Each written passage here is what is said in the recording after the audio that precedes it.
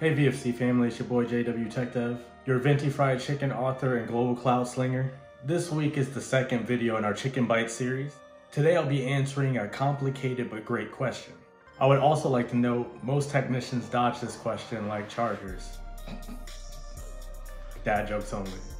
The question is, what programming language should I start with?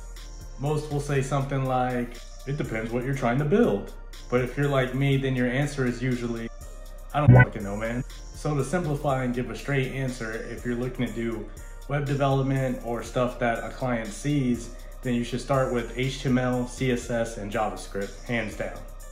So I wanted to give you a weird analogy as I am a MMA fan. So HTML can be seen as like your fighter's body.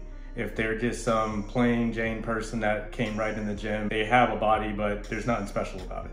In the context of a website, this is your scaffolding or structure of your document, which is your page. So in this analogy, CSS is a, like basically your, your drip, your tattoos, your face tats, your weird haircut, your colored shorts. On a website, this would be your page's color scheme, buttons, shapes, etc.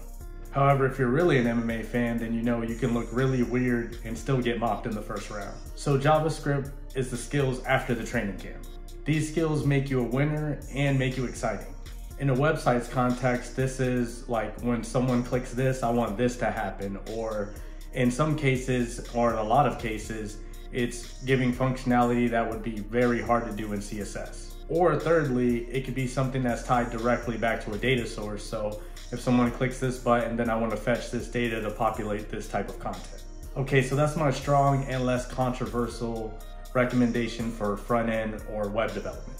So the next, I guess, sub question would be if I want to work in back end, full stack. My number one choice is Python. My secondary choice is JavaScript.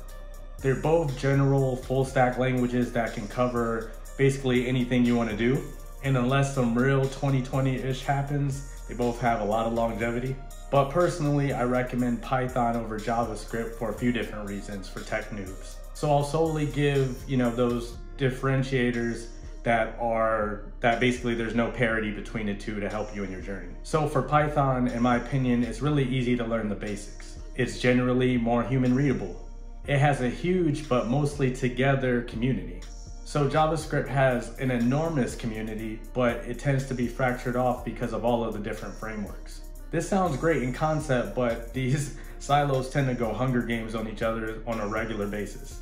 And last but not least, Python uses indentation, which means you won't cut your eyes on semicolons.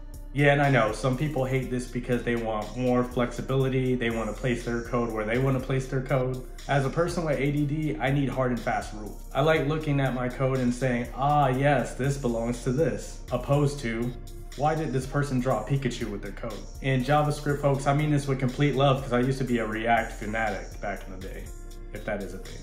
I even went to the React conference. And to be honest, if you have a strong opinion about this, then you're probably too senior to care about what I say anyway. You probably have some well-earned scars from learning Pascal or Rust or some other painful language. So to button this up, if you're doing web and front end, use HTML, CSS, and JavaScript to get started. If you're doing beginner programming, then I recommend Python or JavaScript. The key is to stick with something until you hate it and just go a little bit farther. You have to remember, you have to crawl before you dunk. So you guys let me know if I'm canceled in the comments. We cook it now.